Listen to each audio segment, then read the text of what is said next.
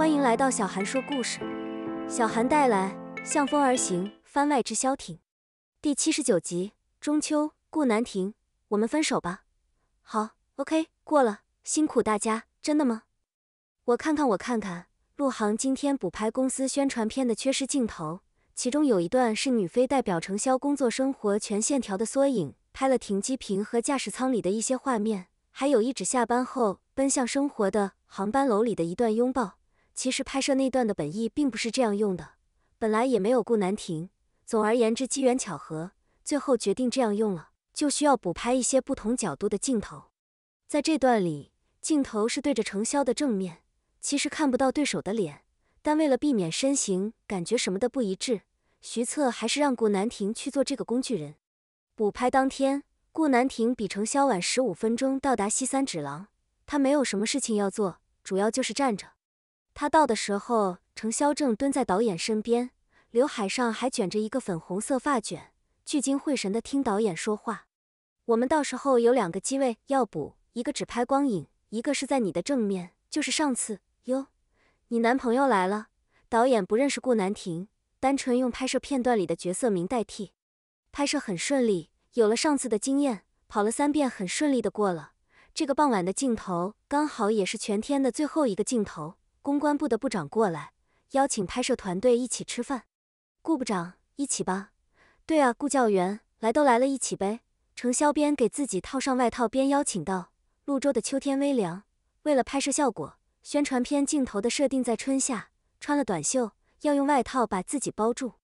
拍摄团队和参与演员都是年轻人，聚餐直接定在了串串店。除了他们这组，基本上有空的参演人员都来了。一桌十人的长木桌分了三桌，谭部长和顾南亭与拍摄团队的人坐一桌，程潇也在这桌。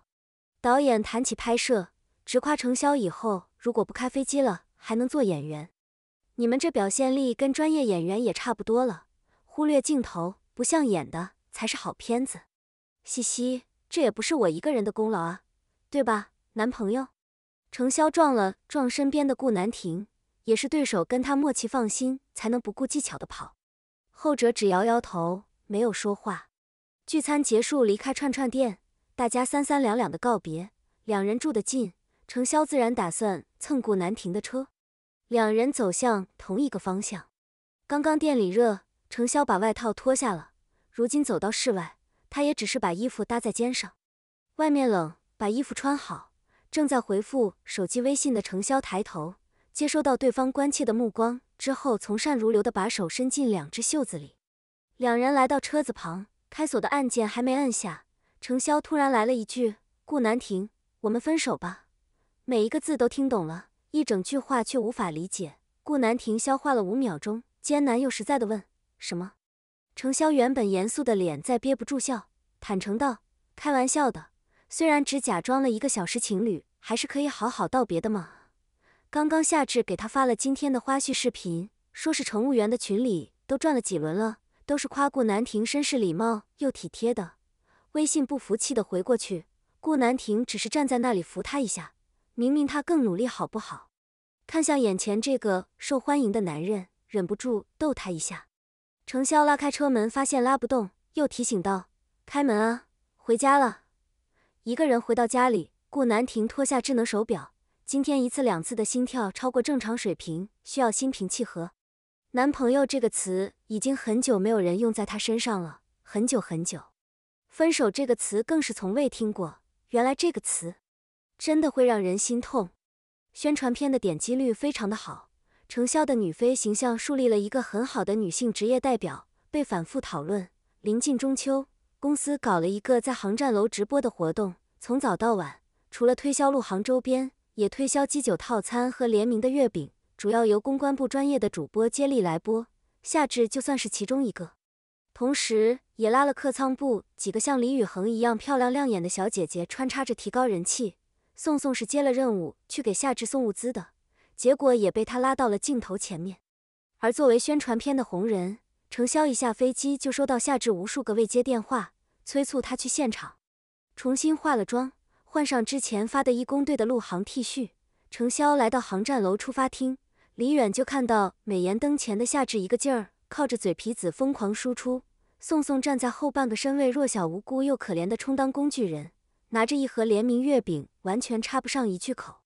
夏至看到他，把宋宋往镜头跟前一推，自己溜到他面前。潇潇，你可算来了，我嘴皮子都说破了。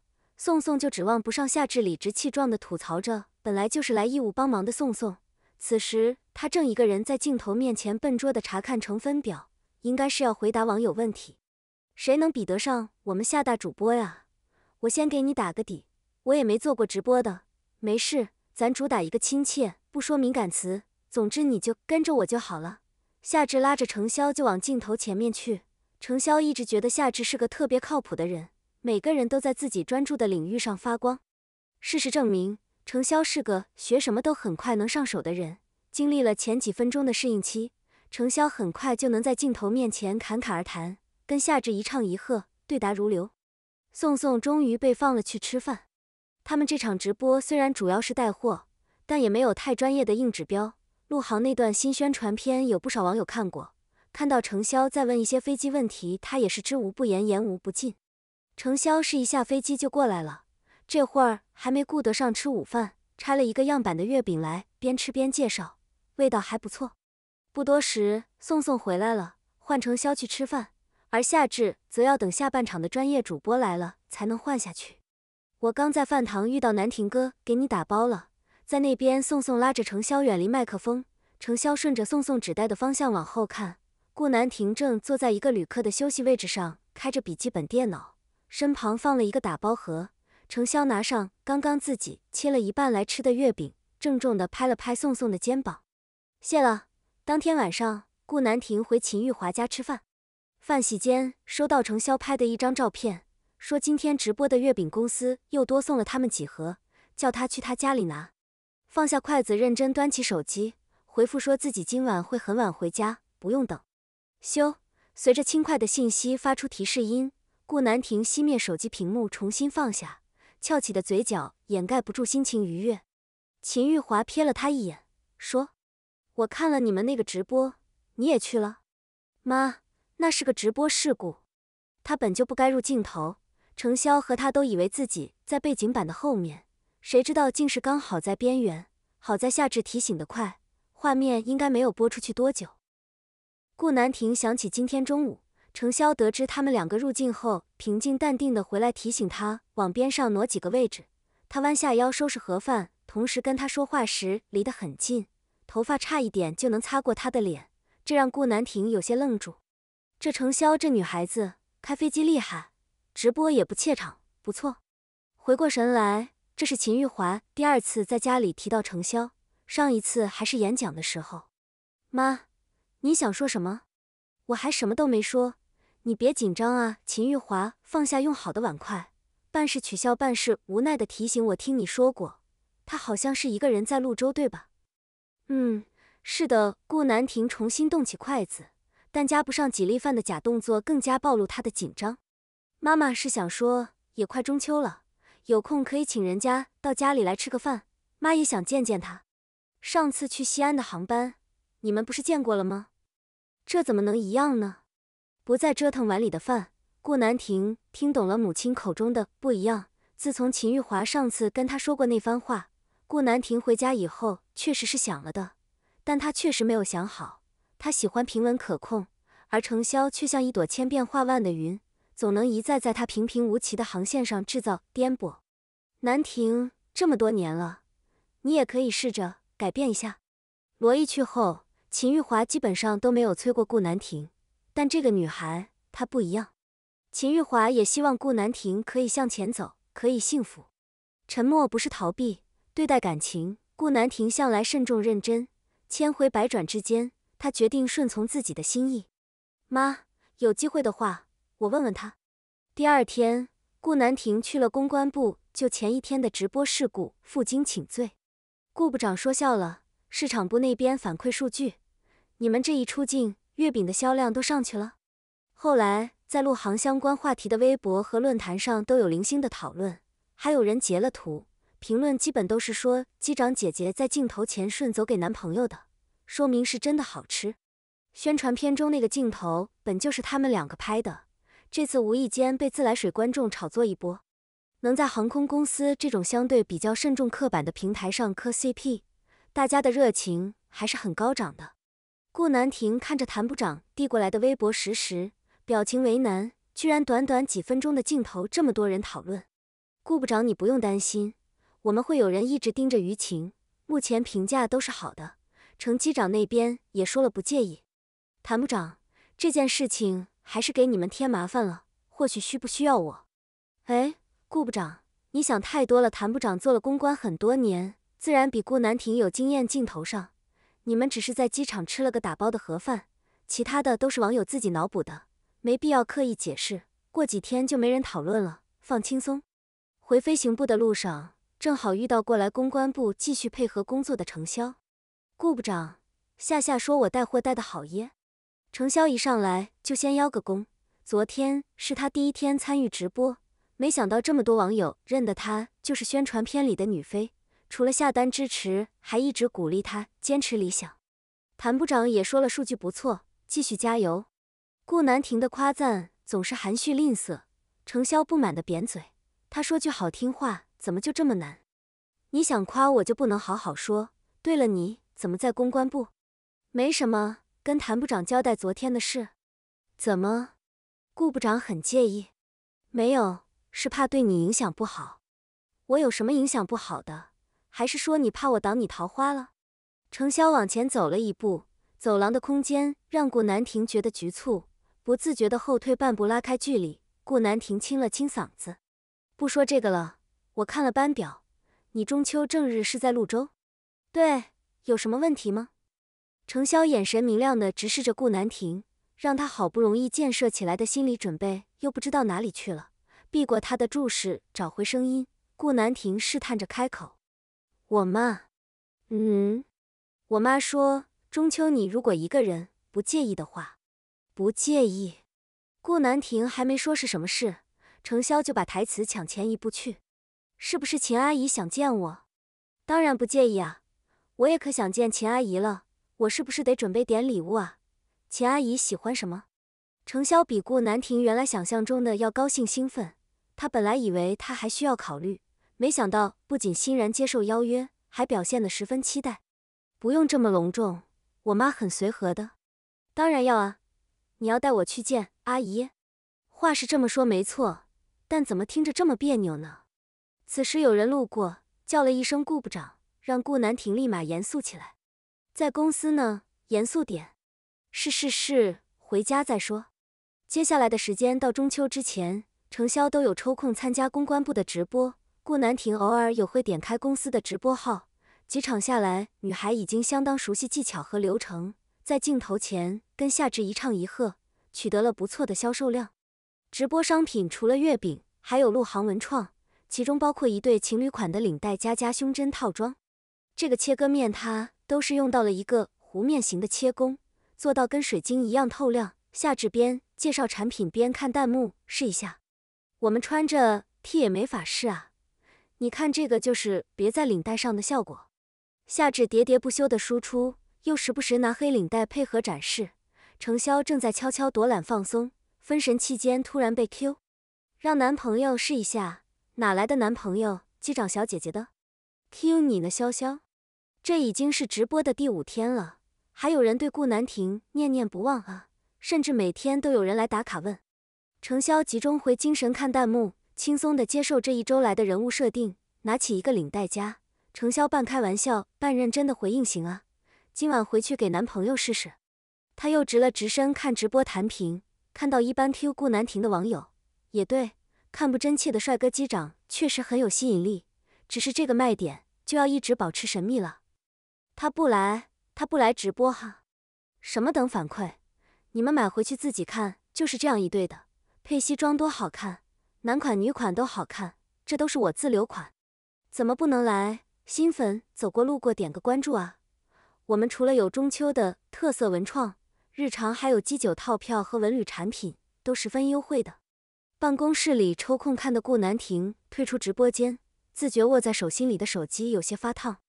他知道程潇的话是顺水推舟的直播效果，也清楚男朋友这个标签认识他们的人都知道就是个误会，没人会当真。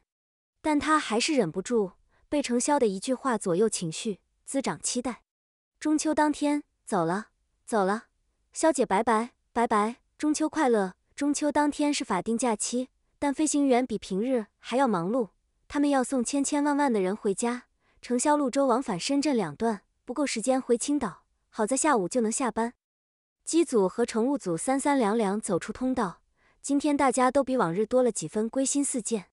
肖姐今年中秋又坚守岗位，真是我等楷模。跟她前后脚航班出来的宋宋边匆匆越过她，边竖起大拇指。程潇在货运部的时候，也总是主动承担节假日的飞行任务，虽然说有加班费，但那也是少了与家人团聚的机会。你跑那么快去哪呀？程潇的语速快跟不上宋宋的步速，他也不是潞州本地的，跑那么快干嘛？夏至还在楼里直播，去晚了他得揍我了。原来夏至是宋宋归心似箭的理由，除了回家的，还有去快速约会活动的。洗手间里，齐豫换了衣服，正在补妆，身边一个乘务员羡慕地说着揶揄的话：“齐豫姐，苟富贵勿相忘啊！瞧你这小嘴说的，只是去交交朋友。”听说这场门槛很高的，学历、相貌、职业少一样都不行，不然你以为姐随随便便能参加吗？程潇也刚好进来换衣服，从隔间里出来，走到了洗手台前，镜子里齐豫突然关心一句：“程机长中秋节有什么安排？”航班下来细心打扮，大多就是有约，有安排了，不劳费心。程潇心情很好的应着，先他们一步走出洗手间，同一时间。顾南亭穿着西服，打着领带，在通道尽头的旅客休息椅坐着，膝盖上还放了一台笔记本电脑处理工作。齐豫看到，低头整理头发，准备过去打个招呼，然后看到刚刚比他们快了一小段距离的程潇竟直加速小跑冲向顾南亭，后者起身接过因程潇小跑带来惯性而往前冲的行李箱，小心点，你还换衣服了？程潇穿了一条红色的连衣裙打底。适应天气，还外搭了一件黑色休闲宽松款的西装外套，黑色底色，下外套上那个银白色的小小装饰特别亮眼。鞋子也换成了更自在的马丁靴。我看还有点时间嘛，久等了。程潇毫不吝啬地展现他的好心情，他的目光落到顾南亭的领带上，深蓝色的底色也让人很难忽略上面的银色装饰物。他真的用了，即便明知道是一对的。晚上跟秦阿姨去哪儿吃？此前程潇就问过需不需要预定，顾南亭说不用，他来安排。安排到今天，只说会过来接上他一起，也没说过去啊。这似乎是让人有些为难的问题。顾南亭慢下收纳笔记本电脑的动作，回避眼神。一般过节，我妈都喜欢在家里自在些，家里这就直接回家了。迅速理解转化了他的话，两手空空的程潇无意识地握住自己单肩包的链子。一只脚脚尖点地，歪着头，兴奋中带着期待，还有一点点紧张。嗯，菜买好了，月饼也拿了，我妈在等我们。顾部长安排的真好，走吧。由远及近，齐豫听到了部分对话，心下疑惑依然维持表面标准的笑容，快步朝即将要走的两人追了上去。南亭哥，中秋节快乐！见到同事，顾南亭又端回部长的架子，淡淡的应道：“辛苦了，节日愉快。”程潇看看这边。又看看齐豫，顺势又故意的亲亲晚上顾南亭的小臂，催促我们先去水果店。走了，按照之前约定好的，程潇来拜访秦玉华。不得不说，对于调戏地主家的好儿子这种事，仅限于在地主家的好儿子面前。真的来到地主家拜访，程潇也会紧张，毕竟是拜访重要的长辈。但这种紧张在到达秦玉华家里之前就消除了，因为他发现顾南亭比他还紧张。顾部长，哎，你就只是回家，你紧张什么？没有啊，没有吗？别捏这桃子了，就买这些可以了吧？再捏，老板要赶我们了。提着果篮进屋拜访，秦玉华和善，知道程潇一个人在潞州过中秋，心疼的说：“一个女孩在外真不容易。”程潇着开朗的应着：“这里有很多朋友照应，过得很开心。”顾南亭插不上嘴，看他们相处融洽，放心的到了厨房做饭。南亭的那个演讲我看了，我知道有你一份功劳。不知不觉间，两位女士聊到了，这其实算是第三次见面。没有没有，都是顾部长讲的好。我后来听说您是一位女工程师，真的非常了不起。也正因为如此，我知道你一定很不容易。秦玉华握住程潇的手，正因为他自己也是在一个男性主导的行业里工作，更加知道女性要出彩就要付出比男性更大的努力，克服更多的羁绊。看到屋子里摆放的顾南亭父亲的照片，又聊着聊着提到这个屋子里的人都和飞行有关，是缘分也是必然。来，进来看看。这么多飞机模型。聊到飞行，聊到飞机。秦玉华引着程潇来到一个房间，是一间简单的卧室，在门口就能看到。最特别的是一整面墙做了一个快到屋顶的装饰柜，里面放了许多飞机模型，很多都已经有不少的年份。这是南亭的卧室，他偶尔会回来住。程潇礼貌的在门口张望，没有往里走。卧室整体风格是暖木色，跟他现在看到他五楼阳台那冷调风格不太一样。顾部长的藏品果然不同凡响啊！喂。那只应该是私人定制的。程潇指着其中一个飞机模型，上面手写了文字 “Captain 顾”，还有一个日期。研究过顾南亭飞行日志的程潇当然知道，那是他放机长的日子，是倪战送他的。你也认识吧？当然，咱们倪总够心灵手巧的，他们认识了很多年，感情很好。晚餐时间，没想到顾部长开飞机厉害，收集模型厉害，做饭也这么厉害。程潇一连三夸。今天听跟秦玉华交流，了解到了顾南亭很多在工作中不会表现出来的一面。如今一桌的佳肴上桌，程潇发现自己之前更是低估了顾南亭在做饭上的造诣。他平时这么喜欢在饭堂吃，不做饭真的是浪费了。喜欢吃的话，以后让南亭给你做。经过一个多小时的熟悉，本来就倒戈的秦玉华做起坑自己儿子的买卖。妈，说什么呢？手中正倒着的可乐抖了一抖。泛起跳跃的泡泡。我的意思是，你们两个住对门的，有空能搭个伙。你想什么呢？顾南亭夹菜掩饰尴尬，说不过就默默给两位女士都夹上一筷子菜。程潇看他们母子的互动，主要是看顾南亭不自在的样子，真的很有成就感呢。程潇双手端起桌上装了可乐的玻璃杯，由衷的感谢道：“谢谢秦阿姨和顾部长今天邀请我来，来中秋节快乐，中秋节快乐。”秦玉华的家是一个两层楼的小平房，外面是几家人公共的院子。初秋的风拂过，很清爽。饭后，程潇收到了一个视频电话，沙发上的他回头看了看在厨房里的母子，只身出门到了院子的树下去接。手机举远，展示笑容。爸爸，中秋快乐！潇潇，中秋快乐！镜头那边的人在家里，除了自己占了三分之二的大头，还能看到边缘上。被他尽力拉劝着的女士通了通了，小云你也跟潇潇说说话嘛。喂，小云你别跑啊！程后尘的隔壁没了人，他又转回视频上，一如既往的叮嘱程潇一个人在外面要好好照顾自己。程潇乖顺的听着，偶尔也打几句，嘱咐爸爸照顾好自己。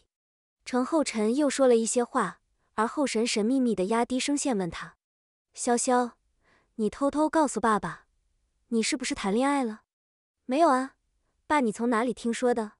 是你妈妈说看到了你们直播那个那个什么讨论的帖子，就是说你男朋友的那个直播事故。虽然被网友截出来讨论了几句，但陆航的直播号本来就不是什么大号，影响范围始终有限。方金云能看到，必然是有日常关注到陆航的相关论坛或微博。方金云口里说不关心他，做的事却都在关心。没有，爸爸，那是个节目效果。假的程潇没有过多解释。哦，这样啊，你这是在哪呀？吃饭了吗？程潇的背景有些昏暗，程后尘不自觉地靠近镜头，没什么变化后又拉回正常距离。我还在外面和同事一起吃饭呢。放心吧，我寄回去的月饼收到了吗？收到了，收到了。你妈妈嘴里说不吃，我今天看啊，少了一块，好吃就行。陆州现在天气也凉了吧？你要注意保暖啊！看你还穿短袖，冷不冷啊？也不用往家里寄这么多东西，你自己够不够啊？有没有啊？外套他刚在屋内脱下了，搭在沙发上。程后尘这么一说，外面还真有点凉，多着呢。除了公司的中秋慰问品，公关部还给我们做直播的额外送了节礼。那个吧，我还在外面。行，那你照顾好自己，中秋快乐，潇潇。中秋快乐，爸爸，帮我跟。方律师问好，拜拜，晚安。挂断电话，程潇一直绷着的笑容松垮下来。程潇已经好几年没有在中秋正日在家过了，除了中秋，还有春节也一样。这种日子总免不了要亲戚聚餐，几乎每次他的职业都会被拿出来夸。女飞行员在国内那本就是一个顶尖的存在，而几乎每次他的年龄都要被拿出来踩，还有各种现场要介绍相亲的。这是方律师两个最在意的死穴，在亲戚面前不好发作，总是回到家后激发矛盾。久而久之，程潇就主动在节假日承担飞行任务，给自己找不回家的借口。可古人也说，每逢佳节倍思亲。匆匆挂断电话，眼泪还是不争气的掉了下来。程潇也只是个普通离家的女孩，哪有不想家的？尤其是今晚秦玉华带她就像一家人一样，更勾起了家里的回忆。对着大树，任由眼泪往下掉，谁还不许人中秋节想家了？吸溜了几下鼻子，后头有人从侧后方递来两张纸巾，程潇用手草草擦了两下下巴，赶紧转身，身后站了一位比他矮半个头的阿姨。姑娘，你是南亭他们家的吧？话不能这么说，但是他一个陌生人，在这个几户围起的院子里，确实只有跟他家挂钩。阿姨，嗯。我是他同事，怎么哭了？想家了？嗯，带了哭腔。程潇大大方方的点头。你是哪里人？青岛。别哭了，你们坐航空公司的坐飞机还不容易，让南亭陪你回家，明天就回。程潇被噗呲一下逗笑。虽然说他们的行业确实比其他人有优势，但也不能说回就回。怎么了？没事吧？他们聊天期间。顾南亭拿着他的外套出来找人，靠近了才看到程潇在哭，他眼睛和鼻子都红红的，在昏暗的灯光下更让人心疼。怎么了？他又问了一遍，把手里的衣服搭到程潇的身上，还认真的拢了拢。本来已经止住眼泪的程潇，被他这么关切的一问，又有些难受了，咬着下唇憋着没说话。小姑娘想家了，一旁的阿姨替她答话。梁姨是看着顾南亭长大的，熟悉的很，还不留情面的补了两句个人见解。我说你中秋也不陪人回家，一个人在外不容易，你也不知道关心体谅。顾南亭无从解释，干脆接受批评，应下任务。知道了，梁姨，我会注意的。梁姨走了，程潇深呼吸几口，调整好自己，再次开口已是正常语气。抱歉，一时感慨，但是阿姨好像误会我们了。要不我去解释一下，把手里的纸巾团作一团。程潇用手扇扇眼睛，遗落的泪珠困在原地。没事，不用。顾南亭回答的干脆，眼泪是擦干了，但眼睛还是红的。女孩安安静静的，男人就陪着一起在院子里待着，抬头赏月，感受一把故人的浪漫。地上的月色比不上航程中的明亮清冷，大气的滤镜倒添了一把人间烟火气。又一阵风吹过。扰乱女孩不听话的头发，男人看着无定焦距的别处，思考后对女孩说：“国庆估计得满飞，后半月的班表我帮你空出几天。想家了就回家看看。”顾南亭这话说的温柔且小心翼翼，好像担心自己会说错什么话。程潇的眼泪又要落下来。顾部长要陪我吗？顾南亭还在想着忘记怎么帮他挪时间，女孩突然的邀请，又让男人的思绪全部清空。朦胧的月色之下，眼里心里只剩他这一句邀请，如同他对他说分手的那天晚上。顾南亭的心跳不用看智能手表也知道已经超出正常范围，换回理智，认真又诚恳地问：“什么？你刚刚答应梁阿姨的？”程潇转脸向梁阿姨家那边点头。程潇说的单纯真诚，一时间顾南亭分辨不出他是不是在开玩笑，但他能分辨出自己希望是哪个答案。还没等顾南亭想好怎么回答，不远处传来秦玉华的声音：“南亭，程潇上哪儿去了？回来吃月饼来了。”阿姨没有等他的答案，程潇率先走在了前面。手掌大的双黄白莲蓉月饼被分成六小块，一家人围在饭桌前，放纵自己一天对抗糖分和卡路里。你们那个直播我也看了，就是这个月饼吧？秦玉华把蛋黄很大的一块给了程潇。